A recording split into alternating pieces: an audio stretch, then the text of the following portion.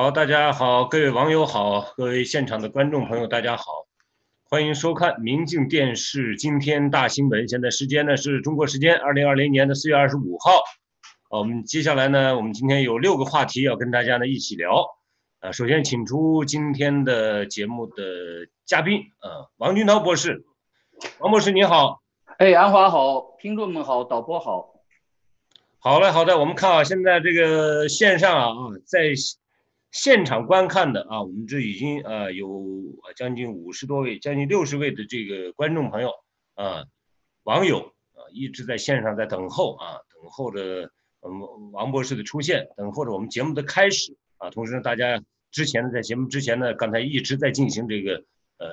激烈的这个讨论啊，这个热络的这种讨论的这个主要的这个题目呢，也是我们今天的题目之一。啊，就是现在这个朝鲜的这个，呃，这个金正恩啊，金三啊，那么他现在这个状况到底如何啊？待会儿呢也请，呃，王军涛博士呢给大家做一番解读啊。王博士呢在这方面呢有啊自己的独特的这个呃观察，也有一些消息的这个来源。好的，我们首先呢来看看今天第一个题目啊，第一个题目就是有关这个，呃，这两天呢炒的大家炒得很热的一个话题就是。川普总统啊，呃，说这个让大家注射这个清洁剂，啊，说这样呢，呃，会这个可能会抗毒，那么抗疫，那么这个消息一传出啊，呃，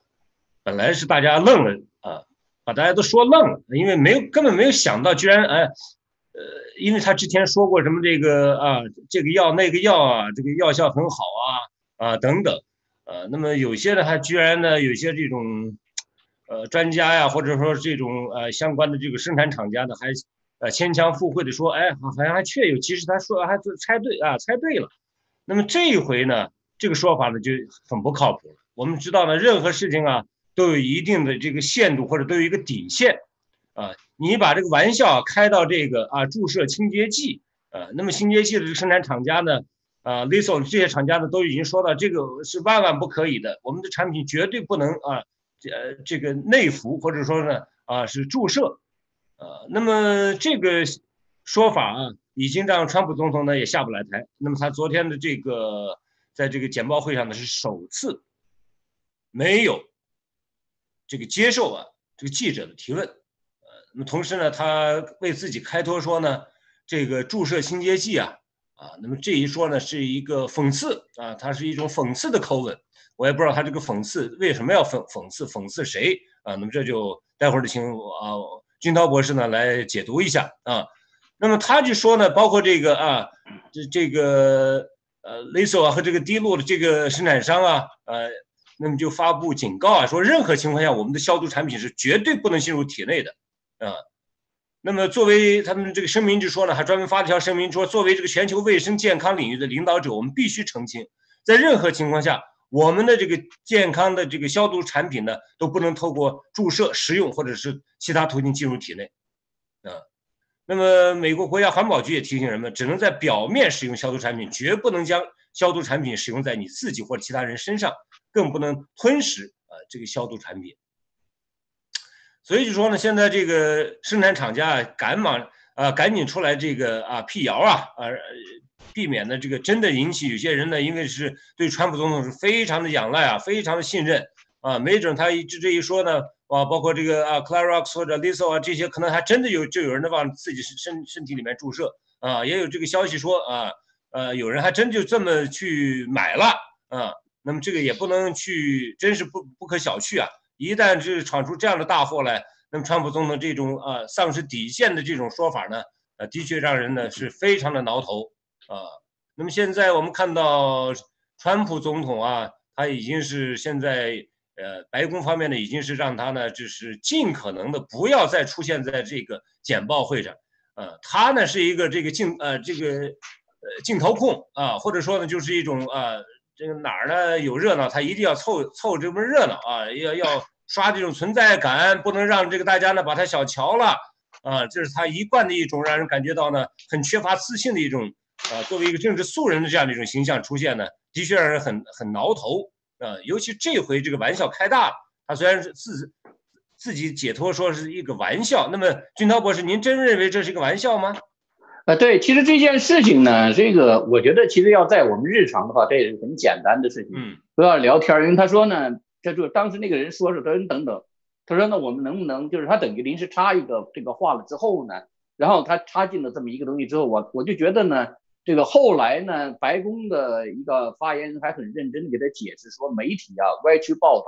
把他这个话从他整个的康泰从他那个背景中抽出来，但川普后来自己做了个解释，他说呢。他就是给记者设了个陷阱，等于要搞笑这么一把，这是他后来的一个解释。但是不，我我是觉得呢，这件事情在哪儿？就第一个呢，我是觉得川普总统说这个话的时候呢，我觉得他不他不会不知道这种事情。我觉得他应该他真的是应该知道，因为这是一个很简单的事情。川普也不会没有洗过衣服，他也不会没有用过这些东西，对吧？他也他也有这个小时候，你不管怎么说，他再富裕吧，我觉得。这种事情他应该是懂的，他也是个，也是一个房地产大亨，他应该知道，对吧？那些产品，所有的产品上都会注明这一点，就是说这个产品不能用于什么，还要让儿童远离什么，这个吧？我们在美国买这个产品，用过的产品都知道这一点，所以我想，他可能真的随嘴说可是他那个表情不像随嘴说的，当时是啊，他他是呢，但是你听他口气说没有，他说我们就是他是让我们能不能考虑一下，意思说能不能开发。这个东西其实他这个意思，但是呢，没想这个话呢，就是你你看他那个文的这个上下文的真讲说，那能不能假如说人家说这个漂白粉呢，还是什么东西是能够对这个清消毒剂，对对这个什么表面上这个这个病毒是能够有杀伤力？他说那我们想一下能不能？其实我觉得他在提出一个探索性的问题，说比如能不能这个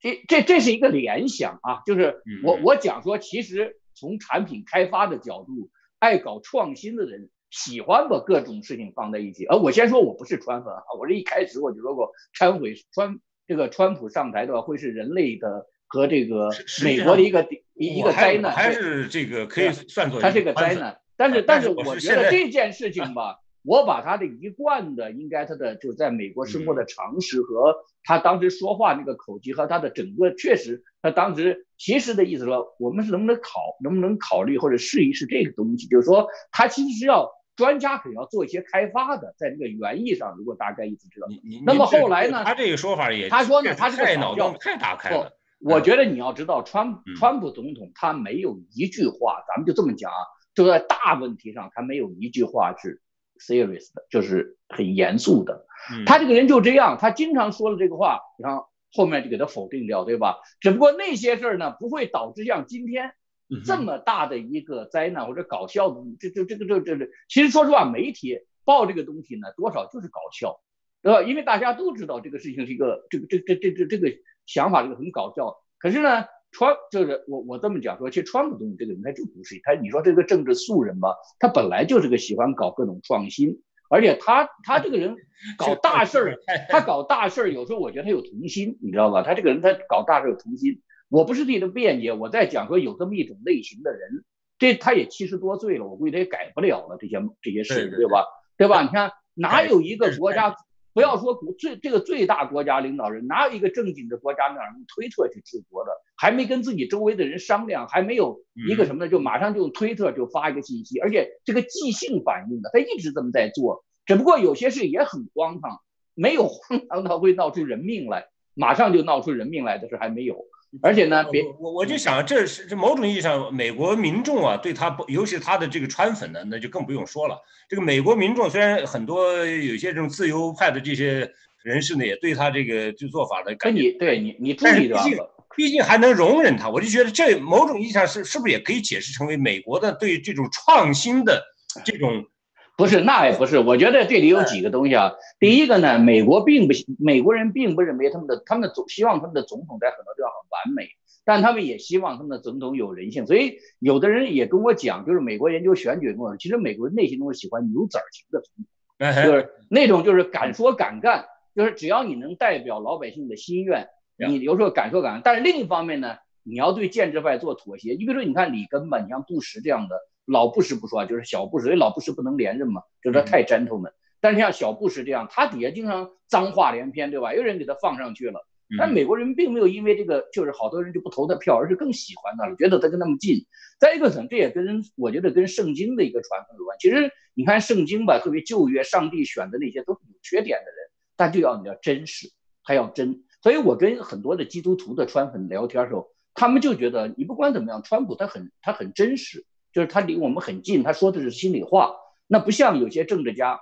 就是他说这话，你不知道他心里真的想什么，他后面他要干什么，你不知道。所以说，在这一点上来说，我觉得呢，他这句话可能会被别人所宽容。当然，我是站在一个替他来理解他的角度，因为现在不理解他的很多了。我是觉得我们讨论问题嘛，就换一个角度。我当然是觉得，作为一个总统来说，你说这个话的话太不严肃了，对吧？这第一个。第二呢，你这话是要出人命的。就像这个，他前一段人说什么药能治病，后来就有一个人去买了吃了，后来最后就出事儿了。出事儿后来。那个 Fox 那个狐狸才赶紧给解释说，这人是个民主党的，这人是个民主党，他不是共和党的。就是说，那就是说明什么？连民主党的人都相信一个总统的，因为他是在一个疫情的尤其这种啊这种重大的这种事件，这就这就说明什么呢？川普没有川普没有把制度当回事儿，他这个人真的没有，就是他叫什么？没有组织观，没没有这个四个意识啊，没有政治意识、大局意识，他也没把自己当核心，也没让别人向他看齐，大概就这么一个。所以说，就就是这个口无遮拦的说了一堆，这个你说叫荤话也罢，叫胡话也罢，叫玩笑话也罢，他当时可能说这话，他的心态真的也不是那么很认真的。而且我讲他的口吻是讨论性的，这个口吻不是一个就是说说大家都去买啊，这个东西是可以，这个没有没有去做这个广告或者去传播一个东西，他只是说是能实际上能在前后语看到能不能考虑一下这个东西，要假如这个东西能在。表面上消毒呢，能不能够在是这个对人体上做一个什么试验，或者是使用一下，探讨有没有这个方式？所以就说呢，这让我就想到这个有点像当年这个周幽王啊，为了为了这个呃爱爱妃啊啊，这褒姒这一笑博得一笑啊，这个来这个烽火戏诸侯啊啊，最终呢是导致这个。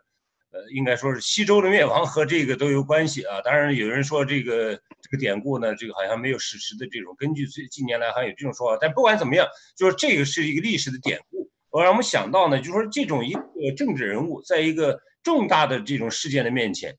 啊，当然你可以就说显得这种举重若轻啊，或者说呢，呃，并不在乎这种呃很多民意的这种裹挟啊。呃，但是呢，你把这个底线如果破了啊，居然能够把这种外用的这种很有毒的这种液体说说成是往自己体内可以注射，是不是？呃，可以往这个方面去想。那么这的确是让人感觉很危险。那安安徽安华现在川普破的底线太多了，只不过就是没有一个底线能立即招致人命。他这个，而且我说比这荒唐的，比这这这个底线他破的太多了。呃，而且我觉得呢，到历史上将来怎么评价这个总统也很难说。就是，哎，我还看这场疫情吧，看这个病毒会怎么会怎么发展。如果这个病毒如果进一步，因为他现在，而且我觉得在某种上他也是确实有一种慌乱。所以当时第一个把他转给我的时候呢，旭光郑旭光先生把他转给我之后呢，郑旭光先生就是觉得非常的悲催，内心中有一种悲哀感。他说，一个这么率性而为的总统，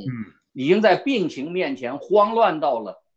常识都没有了，他说可见心理压力之大，他觉得有一种悲悲哀的感觉，替川普总统一种悲哀的感觉。所以，那我当时后来把前后文看了一下之后，我觉得再一个，你刚才讲到说，有的人说让他不要接触选民了，这个不大可能。他现在捅这么大篓子，这样他就是用这样一个方式，每天用这个方式对他的铁粉喊话。如果他要是不亮相，他不说话的话，那很快。这个媒体就会把他给抹得一团黑，然后他连他的铁粉会怎么想他都很难说。所以他现在每天露面讲话，为自己做辩解，并且非常铁口的否定一些事实，然后呢去说一些这个其实在他心中可能是真的，但实际上根本就不是真实的事情。这个是他维系和他的铁粉的这种信信信任的一种方式。我觉得他不会退出的。这个呃，金涛博士，那么现在啊，包括我们的这个在线的网友，大家呃，如果大家想要发言啊，啊，随时举手啊，举随时举手。我就说现在呢，你看他现在呃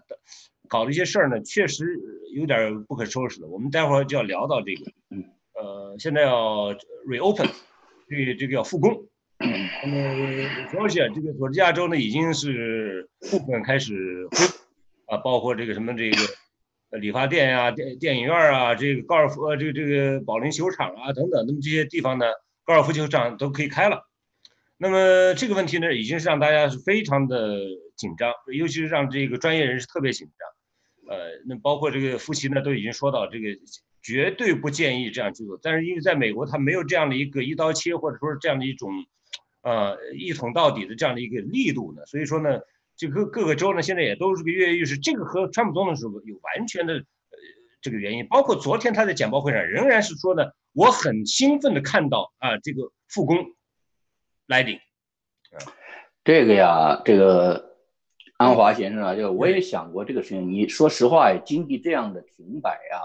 这个一个国家呀，这个可能就真的就不行了。而且人民能不能，人民生能不能这么持续下去？因为我们后面讨论习近平，这我们可以再说这个能不能持续下去都很难说了。就所以说，这有时候跟打仗似的。你知道这个打仗啊，就是说你必须得死人，但是你你知道这个死人不行，但是将军还得要。打下去不打下去的话，那我们就全死。所以在有的时候战争，有时候人说春秋无义战，说吧，这个国面面那个国老百姓受遭殃。可是你说那这个国打过来了，那个国不抵抗吗？他说，所以说有的时候我觉得在这个面前呢，其实这个渠道确实这个就这个平衡是不好把握，因为如果让经济就这么下去，整个美国完蛋呢，这个也不能增加。所以就是，但是你说这 reopen 之后呢，其实从科学的角度上来说呢。大体上，我们现在看美国现在的抗体检查结果就发现，对吧？纽约现在你说百分之二十人实际上已经感染过了，不过好多人感染就好了。那你像就说呢，他说大概纽约州可能有两百七十万吧，是吧？两百对，实际上如果彻底对 reopen 之后呢，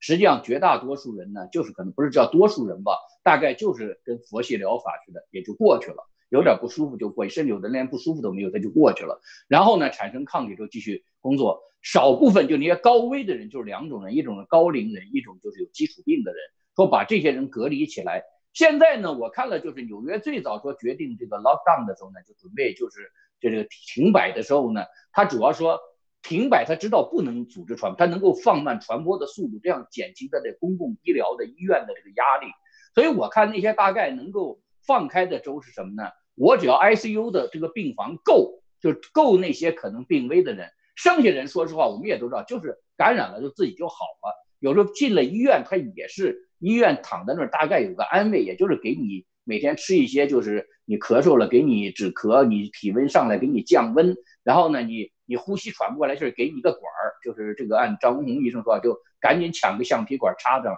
插上去，然后就是就是这样去。帮着你度过这个难关，那剩下就是你该死，那那就你救不过来也就死了，对吧？所以说我的意思就是说，他可能这个 reopen 呢，他就是说，假如说他这个这个医院，所以上次我说这个何刚医生就火了嘛，他其实他对我挺好，但是我说这个想法那天晚上他就火了。他说：“你不知道纽约的医生多多困苦，这个我知道。对对对对。对纽约这样的州来说的话，我们要要想办法，就是说，就是就至少就这个医院不能被攻破，就医院的承受力不能被攻破，否则那些高危的群体啊，那就可能就没有生命保障。再一个，医生就得要，如果假如为了保他们的生命，医生就得要冒着这个自己的危险。所以这个当然我觉得应该，但是还有一些州，如果他想 reopen 的话。”那就看他的医院承受了承受不了，因为这个病反正就是这样的。我觉得，而且呢，按照哈佛教授的那个评估，他虽然没明说，差不多就是这个病在疫苗来之前之后，该得的人呢就得了，有百分之六十以上大概已经得过病了。然后呢，得了病之后呢，你扛过来呢，你就永远不会再得这病，除非这个病毒有变种。但是现在说好像这个就是得过有抗体啊，还不一定能证明，就是说以后。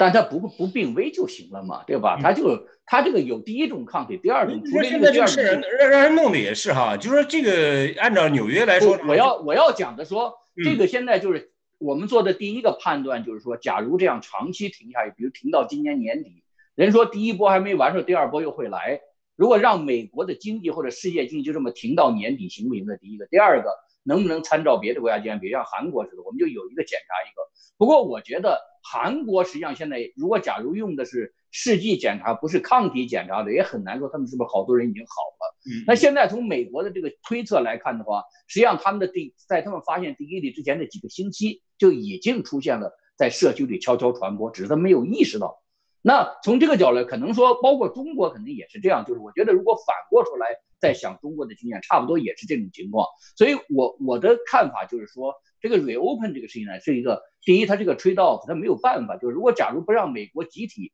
就不让美国集体一种慢性自杀的话，它的经济啊，各方慢性自杀，它可能就得要有一定的风险。第二个呢，这个风险到底有多大？从目前科学的评估来说呢，也不是像它，因为它不像霍乱呢。什么像那种瘟疫一样？现在不是有的人说是旧金山吧？说如果对抗体检查，如果考把这考虑进上，这是百分之零点五的死亡率。对，就说对吧？已经把病愈的人考虑是百分之零点五的死亡率。所以，所以他这个这个死亡率对已经是这个可以，就是大概在病中，而且都是主要是基础病和老年人。如果把这些人隔把这些人隔离起来，把这些人比如 reopen 不对他们开放，那么 reopen 呢要对他们进行特殊的保护，并且呢。让他们能够有足够的 I I C U 的这个救救济，但是也有人跟我说呢，昨天有一个朋友跟我说，纽约差不多百分之八十八上呼吸机的百分之八八八十八活不过来的，啊，我没有去查去核准过，那也就是说呼吸机。后来我也想起来，中国在这个金滩医院的时候呢，也有一个医生说，他们就是看着这个人死，实际上就是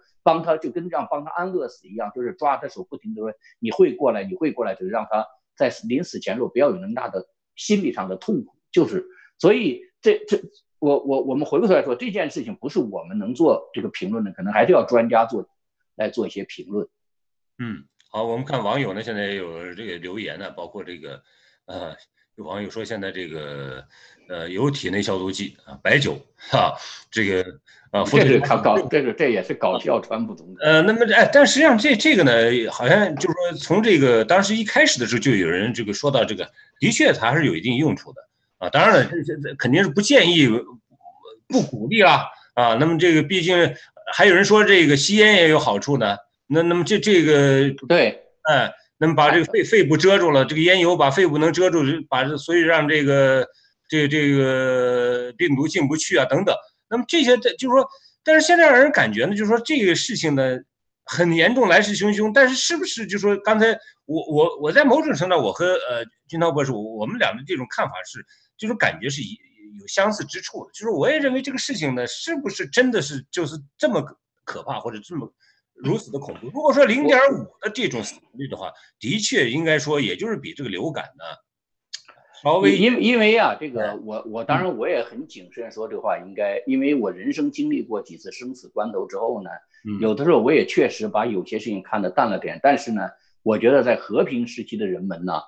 这个不会去这么去想问题，就是那个百分之零点五的这个 risk，他们也不愿意去 take。这个百分之零点五是个什么概念呢？嗯，你知道，我们就假定人能活一百岁的话，这样今年就是这个一这这个每年死的概率都是百分之一，对吧？人要是能活一百岁的话，每年死的概率都是百分之一，那就是零点五的概率，就说明这个得了病的这个人的话，如果他今年没死的话，那等于是因为他有病，给他治疗之后还把他。还把这个死亡率给降下来，把这个群体的死亡率、平均死亡率给降下来了，对吧？所以说，所以我那在，所以在我看来呢，这但这不是个统计数字。所以那天我听这个谭德赛，礼拜一是我听谭德赛的在那